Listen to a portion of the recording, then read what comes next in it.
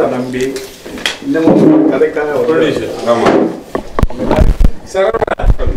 நீ மூஞ்சி எனக்கு முதல்ல இவனை கவிங்கிறாங்க நிறைய விஜயகாந்த் மாதிரி இருக்காங்க. அதுக்கே வந்தானா அப்படின்னு பார்த்தேன். ஆனால் ஷட்டில் பர்ஃபார்மன்ஸ் ரொம்ப கிரேட் பேசி முடிச்சிடலாம். ஷட்டில் ரொம்ப. அப்படி வாழ்ந்துட்டேன். Wow, is that? ஓகே வாங்க சார் ஐ நோ கஷ்டம் நம்மள வார்த்தைகளை வச்சுக்கிட்டு ஆ still மாறி வாங்க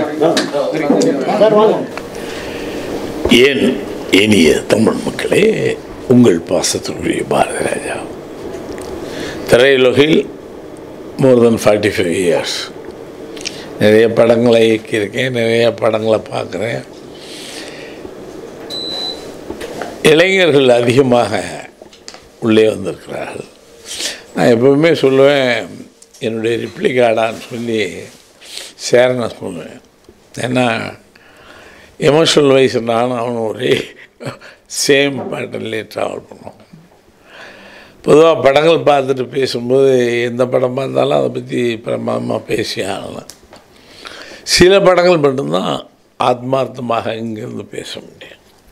சமீப காலமாக நிறைய டெக்னிக்கலி ரொம்ப அட்வான்ஸ் ரொம்ப படங்கள் இருக்குது ஆனால் பாசத்தையும் நேசத்தையும் சொல்கிறதுக்கு படங்கள் இல்லை. ஏன்னா technically they are so advance ரொம்ப ரசிக்கிறேன் ஃப்ரெஞ்ச் ஃபில்மாக மாதிரி இருக்குது கொரியன் ஃபில்மாக மாதிரி இருக்குது அப்படின்னா ஆனால் தமிழ் படம் ஒரு குடும்பம் அந்த குடும்பத்துடைய சின்ன சின்ன நுணுக்கமான விஷயங்கள்.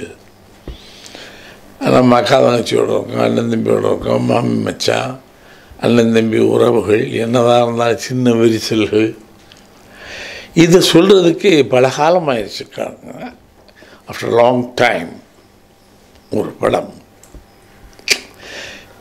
இன்னும் நான் அதிலிருந்து அந்த கேரக்டர்ஸ் இருந்து வெளியே வர முடியலை. ஆனந்தம் விளையாடும் வீடு தலைப்பே ரொம்ப அழகாக எப்பவுமே இந்த கூட்டு குடும்பத்தில் இருந்துட்டு நல்லா நல்ல அண்ணன் ஒத்துமையாக இருப்பாங்க. எல்லாம் கல்யாணம் பண்ணி முடிச்சோடனே அவன் எதையாவது ஊதி விட்டுருவான் இவன் எதையாவது ஊதி குடும்பம் சிறந்து போயிடும். அத்தகைய படங்கள் வர்றது ரொம்ப அரிது. அதில் ஆனந்தம் விளையாடும் வீடு. நான் டைட்டில் பார்த்தோன்னே நினச்சேன். ஒரு நல்ல குடும்பம் சிலரால் சிதைக்கப்படும் மறுபடியும் அது ஒன்று சேரும். அதில் அழகாக நந்தா பெரியசாமி ரொம்ப அழகாக பண்ணிருக்கான் டெக்னீஷியன்ஸ் ஆர் ஸோ கிரேட் இதில் சேரன் வந்து பெரிய சுமையை தூக்கிறேன் அவன் என் பிள்ளைங்கிறதுக்காண்டி சொல்லலை. இந்த கேரக்டரை தூக்கி சுணக்கணும் ஒரு குடும்பத்தில் ஒரு மூத்த ஒருத்தன் மட்டும்தான் அப்படி தூக்கி சுமப்பான் அதில் சரவணன் ரொம்ப ஒரு பெரிய கவிஞன் கூட ரொம்ப அழகாக மெயின்டைன் பண்ணுவாங்க அதுக்கப்புறம் சேரன் இந்த ஹோல் பிக்சரை தூக்கி சுமந்துட்டுருந்தான் பெர்ஃபார்மன்ஸ் சில நேரங்களில் நம்ம டைரக்டர் தான் சில நேரங்களில் எனக்கு கண்ணு கசங்குச்சு. ஏன்னா நாமளும் ஐம்பது வருடத்துக்கு மேலே பண்ணிட்டோம். கண்ணு கசங்குது. என்ன எரியாமல் கசங்க வைக்கிறான். அந்த way of delivery the dialogues அதில் சேரன் ஹேட்ஸ் ஆஃப் இந்த படத்தில் எனக்கு ரொம்ப மன அழுத்தத்தை கொடுத்தான். சரவணன் அவன் உருவத்துக்கு மூத்த அண்ணனா ஷட்டில்லாக ரொம்ப அழகாக பண்ணியிருப்போம். ஆல் கேரக்டர்ஸ் ஏன்னா இவ்வளவு கேரக்டர்ஸ் போட்டு படம் பண்ண முடியுமாங்கிறது எனக்கு ஒரு கஷ்டம். நான்லாம் நாலு பேர் நாலு வாங்குவேன் the whole full fully artist எங்கே நல்ல artist but everybody did their job even Jo Malli கூட அவன் மனைவி அவர் விஜயா ஐ திங்க் சூப்பர் ரொம்ப அற்புதமாக இருக்குது வழக்கமாக சொல்கிற மாதிரி எல்லா படத்துக்கும் பிபி ஊதுறது உண்டு. இது அப்படி அல்ல. நீண்ட நாளைக்கு அப்புறம் ஒரு நல்ல ஒரு குடும்ப படமாக சில இடங்கள் கண்ணு நம்மள ஏரியாவை டைலாக்ஸ் சூப்பர் நம்ம வீடுகளில் அக்கா தங்கச்சி அண்ணன் தம்பி எல்லாம் இருப்போம் கல்யாண வீடு அந்த வார்த்தையெல்லாம் இந்த மண் சார்ந்தவன் தான் எழுத முடியும். அதில் Nanda Periyasamy done a great job நான் படம் பார்க்கும்போது நானும் தான் வில்லேஜ் சொன்னேன் இவங்க கிராண்டியராக சொல்கிறாங்க ஆனால் கூட டயலாக்ஸில் ஈரம் ஐ லவ் திஸ் ஃபில்ம் இது எல்லாருக்கும் சும்மா ஏதோ விளம்பரத்துக்காக நான் சொல்ல every one should see this film action படம் எடுத்திருக்கோம் சண்டை படம் இங்கே வெட்டு குத்து ரத்தம். இதற்கு மத்தியில் ஒரு அழகிய எல்லோரும் இப்போ யோசிப்பாங்க.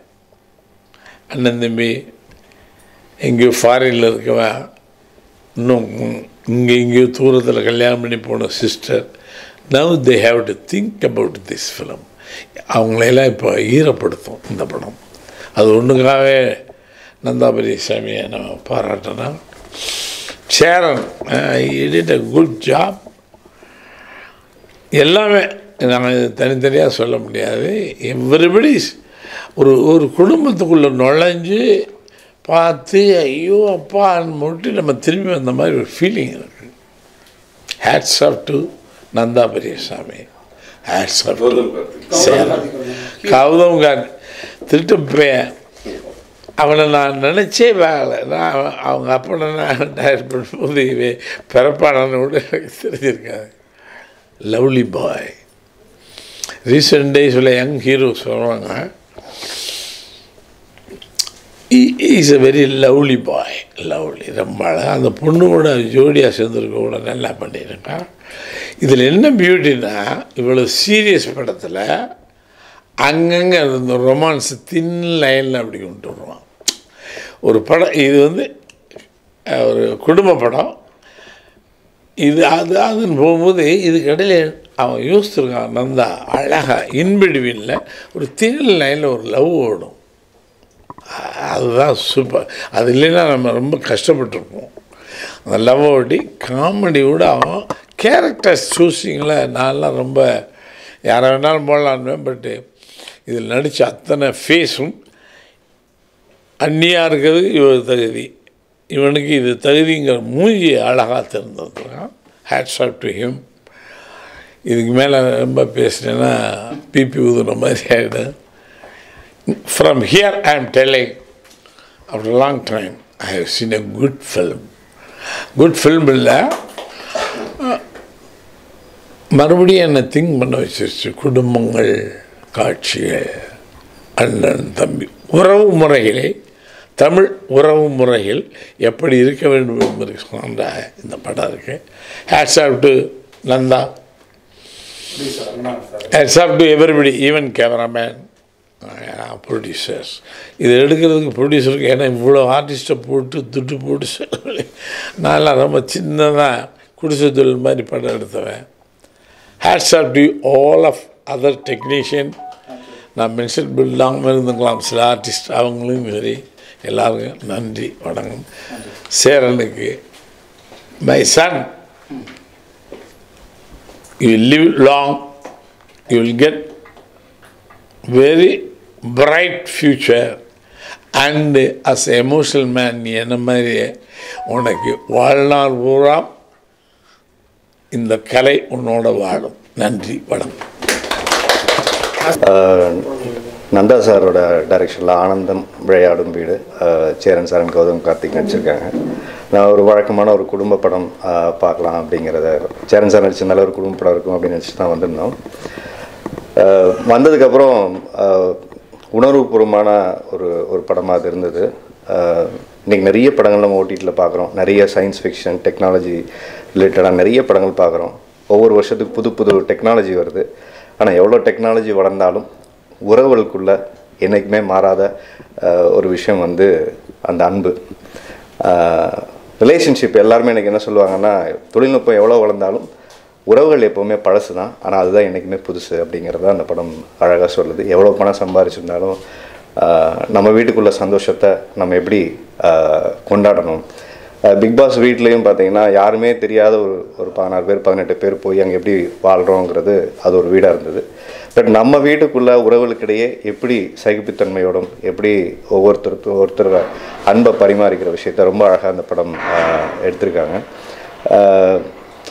அந்த கிளைமேக்ஸுக்கு முன்னாடி ஒரு ஒரு சீன் இருக்கும். அந்த எல்லாரும் உட்காந்து ஒரு ரியலைசேஷன் வந்து ஏன்னா எல்லாருக்கும் இது நடந்திருக்கும். ஆனால் நிறைய பேர் பார்க்கும்போது இதுதானே இது சாதாரண விஷயம் தானே இது எல்லா குடும்பத்துக்கும் நடக்கிறது தானே இது என்ன ஒரு பெரிய விஷயம் அப்படின்னு நினைப்போம். ஆனால் உண்மையாகவே என்னென்னா மனுஷன் பிறப்புக்கும் இறப்புக்கும் நடையில் வாழ்கிற வாழ்க்கையை படம் பிடிக்கிறது அப்படின்னு ஒன்று இருக்குது அந்த வாழ்கிற வாழ்க்கையில் இருக்க அன்புக சொல்கிற படங்கள் ரொம்ப குறைவாக வருது. அந்த வகையில் இந்த படம் வந்து அந்த அன்பை சொல்கிறது தான் அந்த இந்த படம். நம்ம உறவுகளுக்குள்ளே இன்னும் எப்படி நம்ம நடந்துக்கலாம் எப்படி மேம்படுத்திக்கலாம் வாழ்கிற வாழ்க்கை இன்னும் சிறப்பாக வாழ்கிற விஷயம். ஏன்னா வீடை காசு போட்டு கட்டிடலாம். வீட்டுக்குள்ளே சந்தோஷத்தை நம்ம விலைக்கு வாங்க முடியாது. அது நம்ம தான் கொடுக்க முடியும். ஒவ்வொருத்தருக்கு ஒருத்தருங்கிறத அந்த படம் ரொம்ப அழகாக சொல்லுது.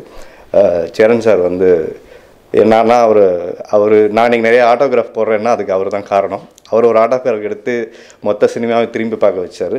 என்னுடைய ஆட்டோகிராஃப்க்கு அவர் தான் காரணம் சினிமாக்குள்ளே வர்றதுக்கு. அவர் படம் பார்க்கும்போது எங்களுக்கெல்லாம் அவர் ரொம்ப க்ளோஸாக இருக்கும்போது அவர் அவருடைய பே எப்படி பேசுவார் எப்படி நடந்துப்பார் எல்லாமே எங்களுக்கு தெரியும். நந்தா சாரையும் முன்னாடியே தெரியும். ஸோ ரெண்டு பேரோட காம்போவில் ஒரு நல்ல உணர்வுபூர்வமான ஒரு படம். ரொம்ப இயல்பாக எல்லாருமே எல்லா நடிகர்களும் நடிச்சிருந்தாங்க. சேரன் சாரோட எமோஷன்ஸ் ரொம்ப கேரி பண்ணி அது அவர் ஷோல்டரில் பண்ணியிருந்தார். கௌதம் கார்த்தி செட்டில்டாக அவரோட விஷயம். அப்புறம் டாக்டர் ராஜேஷரோட பொண்ணு இதில் பண்ணியிருந்தாங்க. அவங்க அக்கா எங்கூட இதில் பண்ணியிருக்காங்க ஆர்டிகல் ஃபிஃப்டீனில் ஸோ அவங்களும் ரொம்ப நல்லா பண்ணியிருக்காங்க. அண்ட் சரவணன் சார் ரொம்ப அழகாக ஒரு அண்ணன் அந்த தம்பி அந்த ரிலேஷன்ஷிப் ரெண்டு பேருமே காம்போ நல்லா இருந்தது. சேரன் சாரதும் சரவண் சாருக்குமான அந்த காம்போ ரிலேஷன்ஷிப்பு ஏன்னா ஒருத்தருக்கு ஒருத்தர் பேசிக்காமலே அந்த கண்ணிலேயே அந்த எமோஷன் கேரி பண்ணுற விஷயம் பியூட்டிஃபுல்லாக பண்ணியிருந்தாங்க. எல்லா ஆர்டிஸ்ட்டு எல்லா நடிகர்களை போட்டு படம் எடுப்பாங்க. நந்தா சாரும் ப்ரொடியூசரும் ஒரு ஊரையே வச்சு படம் எடுத்திருக்காங்க. இது எவ்வளோ கஷ்டமான விஷயம்னு தெரியும். அத்தனை பேர் டேட்டையும் வாங்கி அந்த ஹாஸ்பிட்டல் சீன் கூட நான் பார்த்தேன். அத்தனை பேரையும் காம்ப்ரமைஸ் இல்லாமல் எல்லாரையும் வெளியே ஏன்னா நிற்கிற ஷாட் தானே நாங்கள் எதுக்கு வரணும் அப்படின்னு இல்லாமல் அது என்னென்னா அது அந்த ஷாட்டோட வேல்யூ வந்து சினிமாவில் இருக்கவங்களுக்கு தான் தெரியும். ஒருத்தர் உடம்பு சரியில்லை நம்ம உறவுகளுக்குள்ளேயே எவ்வளோ பேர் நமக்காக வெளியில் காத்திருப்பாங்கன்னா அந்த இடம் தான் நம்ம எவ்வளோ பேரை சம்பாதிச்சிருக்கோம் அப்படிங்கிறது தெரியும். அழக்கமாக ஊரில் சொல்ல ஒரு ஒரு பழமொழி தான். எங்கள் அப்பா அடிக்கடி சொல்லுவார் குற்றம் பார்ப்பின் சுற்றம் இல்லை. இதுதான் அந்த படம் சொல்லுது ஒரு அழகாக வந்து.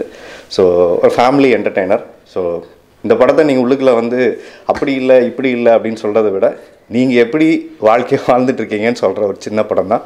ரொம்ப அழகாக எடுத்திருக்காரு. ப்ரொடியூசர் வந்து இந்த கதையை கேட்டு எப்படி நந்தா சார் இப்போ தான் சொல்லிட்டு இருந்தார் எப்படி படம் பண்ணுவாங்க யோசிக்கும் போது அவருக்கு இருக்கிற அந்த உறவுகளை நம்பி ஒரு படம் சொல்லணுங்கிறதுக்காகவே ப்ரொடியூசருக்கு ஒரு பெரிய நன்றி சொல்லணும்.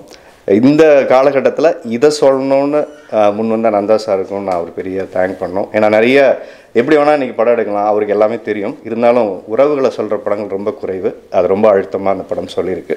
ஸோ எல்லோரும் படத்தை வந்து தயவுசெய்து தேட்டரில் வந்து பார்த்து சப்போர்ட் பண்ணுங்கள் மொத்த தொழில்நுட்ப மியூசிக் டைரக்டர் அண்டு சினிமாடோகிராஃபி எல்லாருமே நல்லா பண்ணியிருக்காங்க. அண்ட் சவுந்தர் நிறைய ஆர்டிஸ்ட் தெரிஞ்ச ஆர்டிஸ்ட் இருக்காங்க. நிறைய பேரை மறந்துட்டேன். சவுந்தர் ரொம்ப நல்லா பண்ணியிருக்காரு. ரொம்ப எமோஷன்ஸ் கேரி பண்ணி ஒரு நெகட்டிவ் ஷேடு வந்து ரொம்ப அழகாக பண்ணி அப்புறம் திருப்பவும் லாஸ்ட்டில் சேர்கிற விஷயங்கள் எல்லாருமே நல்லா பண்ணியிருக்காங்க. ஸோ மொத்த ஆர்டிஸ்ட்டுக்கும் என்னுடைய வாழ்த்துக்கள். எல்லாருக்கும் வணக்கம். இப்போ தான் நாங்கள் வந்து ஆனந்தம் விளையாடும் வீடு படம் பார்த்தோம். நந்தா பெரியசாமி சார் டைரக்ட் பண்ணியிருக்காங்க ரிலேஷன்ஷிப்ஸில் இருக்க வேல்யூனஸ் பற்றி பேசுகிற ஒரு படம். சூப்பராக இருந்தது. ரொம்ப நாள் கழிச்சு ஒரு பயங்கரமான ஒரு ஃபேமிலி என்டர்டெய்னர் ஸோ ஒரு ஃபேமிலின்னும் போது அதுக்குள்ளே சந்தோஷமும் இருக்கும் பிரச்சனைகளும் இருக்கும். எல்லாரும் ஒரே மாதிரி யோசிப்பாங்கன்னு நமக்கு சொல்ல முடியாது. ஸோ அதை வந்து ரொம்ப ரொம்ப சென்சிட்டிவான ஒரு எமோஷன் அது வந்து அதை பயங்கர சூப்பராக ஹேண்டில் பண்ணியிருக்காரு. ஸோ நிறைய கேரக்டர்ஸ் நிறைய ஆர்டிஸ்ட்டு வந்து அவ்வளோ பேரை வச்சு அந்த ஒரு சிங்க் ஒரு ரியலான ஒரு ஃபேமிலிக்குள்ளே போய் ட்ராவல் பண்ணிட்டு வந்த மாதிரி ஒரு ஃபீலிங் இருந்தது. ஸோ சூப்பராக இருந்தது. எல்லாமே பெரிய பெரிய ஆக்டர்ஸ் நடிச்சிருக்காங்க. நம்ம அவங்கள பற்றி பேசுகிற அளவுக்கு நமக்கு வந்து எக்ஸ்பீரியன்ஸ் இல்லை. ஆனால் வந்து பார்க்கும்போது கே இப்போ எல்லா சில பேர் நமக்கு பர்சனலாக தெரியும். அவங்கள வந்து ரியல் லைஃப்பில் நம்ம பார்க்குற மாதிரி இல்லாமல் அந்த படத்துக்காக அவ்வளோ மோல் பண்ணி அவ்வளோ சூப்பராக ஒர்க் பண்ணியிருக்காங்க. ஸோ டெக்னிக்கலி சூப்பராக இருந்தது. ஸோ ஒரு பயங்கரமாக இருந்தது. எப்படி சொல்கிறதுனா ஒரு ஒரு நம்ம ஊர் சைடில் ரொம்ப நாள் கழிச்சு நம்ம வந்து ஏன்னா இப்போ நிறைய இப்போ நிறைய பேசிட்டார் ஆரி. ஸோ அதனால் வந்து நிறைய ரியலாஸ்டிக்காக இப்போ நெட்ஃப்ளிக்ஸ் அப்படி இப்படி நிறைய படங்கள் பார்க்குற மாதிரி இருக்கும். பட் இந்த மாதிரி ஒரு படம் பார்க்கும்போது தான் நமக்கு வந்து ஒரு பயங்கர ஒரு எமோஷ்னலாக இருக்கும் வந்து எனக்கு இந்த மாதிரி படங்கள் பார்க்கும்போது என்னென்னா ஒரு சந்தோஷமாகவே இருக்கட்டுமே அதுக்குள்ளே பிரச்சனை வரக்கூடாதுன்னு நமக்கு ஒரு மைண்ட் இன் இனிஷியலாகவே ஒரு தோணும். ஸோ அதில் வந்து ஒரு பிரச்சனை வந்து எப்படி சரியாக போகுது நமக்கு தெரியும். பட் இருந்தாலும் அது வரும்போது இந்த உண்மை அவருக்கு தெரிஞ்சிடணும். சீக்கிரமாக அந்த உண்மை அவருக்கு தெரிஞ்சிடணும்னு சொல்லிட்டு நம்ம மைண்ட் யோசிச்சுட்டே இருக்கும். ஸோ அந்த மாதிரி இதில் வந்து நிறைய பிரச்சனைகள் வருது. அதை எப்படி ஹேண்டில் பண்ணுறாங்க அதை வந்து பெரிய அண்ணனா இருக்க சரவணன் சார் அதுக்கப்புறம் சேரன் சார் அவங்க ரெண்டு பேரும் அவங்க தோல் எடுத்து அதை வந்து எப்படி அந்த பிரச்சனைகளை சால்வ் பண்ணி அவங்களுக்கு உள்ள ஒரு நார்மலாக முடியுதுன்றது தான். ஸோ யூஸ்வலாக இருந்த நல்ல ஒரு ஃபேமிலி ட்ராமா இருந்தால் கூட பட் அது வந்து எவ்வளோ அழகாக வந்து ஹேண்டில் பண்ணியிருக்காங்கன்றது தான். ஸோ நிறைய பேர் நடிச்சிருக்காங்க. ஸோ எல்லாருமே கண்டிப்பாக பாருங்கள் இந்த படத்தை. பார்த்தீங்கன்னா நம்ம ஊர் சைடில் இப்போ எல்லாம் உட்காந்து பேசிட்டு இருப்போம் ஜாயின்ட் ஃபேமிலியாக இருக்கணும் அப்படி இருக்கணும் அப்படின்னு சொல்லிட்டு. ஸோ அது வந்து சொல்லாமல் அது வந்து ஒரு படமாக எடுத்து காமிச்சிருக்காங்க. ஸோ ரிலேஷன்ஷிப்ஸோட வேல்யூ வந்து பயமாக புரியும். கேமரா மியூசிக் எல்லாமே ரொம்ப நல்லா பண்ணியிருந்தாங்க. சவுந்தர்லாம் ரியல் லைஃப்பில் சரடி மாட்டார் பட் நச்சா மாதிரி பயங்கரமாக நடிச்சிருந்தாரு. ஸோ அந்த மாதிரி கௌதம் கார்த்திக் அவர் வந்து ஒரு ஆங்கிரி யங் மேன் மாதிரி பயங்கர சித்தப்பா பெரியப்பாவுக்குள்ளே இருக்க பிரச்சனையை ஒரு நடுநிலையாக இருந்து ஒருத்தர் வந்து ஹேண்டில் பண்ணி அதே மாதிரி ஃபீமேல் நடிச்சவங்க அப்புறம் அந்த அக்கா எல்லா கேரக்டர்ஸுமே வந்து பயங்கர யூனிக்காக இருந்து நம்ம ஊர் சைடில் ஒருத்தவங்க போயிட்டு இப்போது ஷூட்டிங் போகும்போது அவங்க ஒரு ஃபேமிலியை மீட் பண்ணுவாங்க. மீட் பண்ணும்போது அங்கே ஒரு ஃபேமிலி இருக்கும். அவங்க வந்து அதில் பார்க்குற ஒரு ஆட்கள் மாதிரி எல்லாருமே அவ்வளோ கேஸ்டிங் அவ்வளோ ப்ரில்லியண்ட்டாக இருந்தது.